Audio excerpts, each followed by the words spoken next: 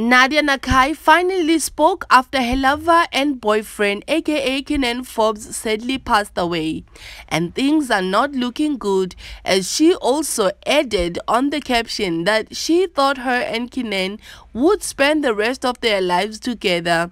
Only turned out that Kiernan is the only one who spent his life with her. Now, still looking on that statement Nadia Nakai made for the first time after aka passed away. DJ Zinhle also went online and shared a picture of AKA and his daughter, Ukairo. So Nadia Nakai reposted that picture and shared it on her story. So my opinion about this whole thing is that both Nadia and DJ Zinhle are going through the most and still hurting about losing Kiernan. But at this point, I kind of feel like DJ Zinhle should lay a little bit low and give Nadia some time to grieve alone, to share her moments with Kiernan without having to insert the child. Cause as much as I love DJ Zinhle, she had the rest of last week to grieve on social media and she shared so many stories every day without any disturbance. So if she would at least give Nadia her moment as well, that would be understandable.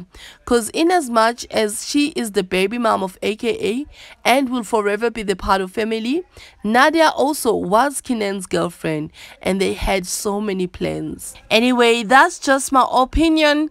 I know these two sisters have a good relationship and my opinion might also not be working for them as they are the ones who were close and had a relationship with kiernan but even 지금도 if I was in DJ Zinhle's shoes, I would have given Nadia some time alone. Because at this point, judging from how she behaves, I kind of feel like she is adding more salt to Nadia's wound in a way that Nadia is mourning for her boyfriend. And DJ Zinhle posting aka and Kairo all the time would even be more hurtful to Nadia that this guy left her and also a child on the other hand. Because we know that Nadia and Kairo are close too and have a, a strong relationship. So for Nadia to always be remembered about Kairo would hurt because she loves and cares about Kairo.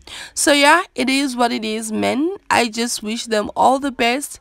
May God strengthen them, and I hope justice would be served. Now, guys, my opinions views and perspectives would not make sense without your comments and views. Now if you want to add on this please kindly drop your comment on the comment section down below. You and i will meet there. And please do not forget to subscribe and also to hit the notification bell so that you will receive all the notifications next time when i share videos.